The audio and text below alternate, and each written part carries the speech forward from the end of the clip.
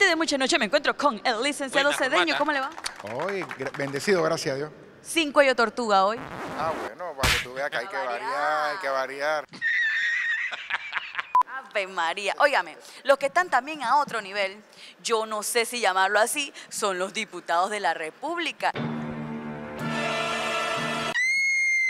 Y bueno, esta pelea ahora con el señor Contralor, que ya yo no sé cómo a quién irle. Mira, de una u otra manera de que el Contralor ahora está viendo la luz, Dios. tenemos que respaldar lo que muchos estamos diciendo las auditorías. El que no la debe no la teme. Sí, no hay duda, no hay, no hay la más leve duda. Si todo está en regla, apreciada madre y todo ciudadano, entonces presenta las cuentas, la transparencia, mira, la rendición de cuentas es fundamental en un Estado de Derecho. En tal sentido, yo creo que es una insurrección lo que ha hecho la señora Yanibel Ábrego, diputada presidenta de la Asamblea, de negarle la entrada a los auditores. Ha violado la ley, violado la Constitución, pero ojalá reflexione porque no podemos ahora permitir que las otras instituciones del Estado hagan lo propio. Imagínate que ahora se está hablando con, con la planilla del Ministerio de la Presidencia. Imagínate que llegue el, el- el- el Contralor.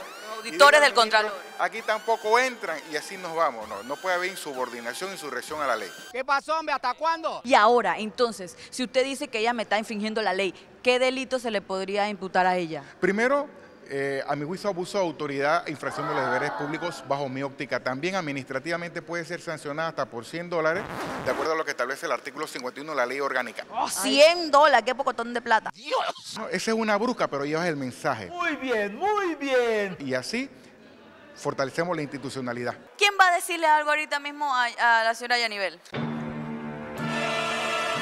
Que los diputados solamente pueden ser juzgados, de acuerdo al artículo 155 de la Constitución, por la Corte, pero en las causas penales y policivas. Pero en las otras causas, administrativamente, el Contralor puede sancionarla por, lo, por, la- por- por impedir la auditoría y patrimonialmente la jurisdicción de cuentas autónoma y puede juzgar a los diputados.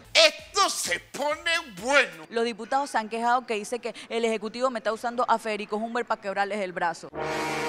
Porque si todo este tiempo ha habido esas planillas, ¿por qué ahora la iluminación del señor Humber?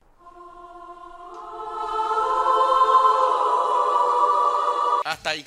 Justo cuando el Ejecutivo está bravo con el Legislativo. Pero esa es una hipótesis, pero ¿qué hacemos? Si muchos estamos pidiendo a la auditoría, es más, yo denuncié a Humber porque no quería auditar las partidas circuitales y la denuncié ante el Ministerio Público, ante la Procuradora General, que la verdad que no ha hecho nada con esa denuncia, pero hay que actuar. Ahora, ahora que el hombre ha despertado por razones diversas, hipotéticas, etcétera, etcétera, ahora yo tengo que respaldar porque en efecto va a auditar y los diputados que rindan cuenta como cualquier ser viviente que administra fondos del Estado.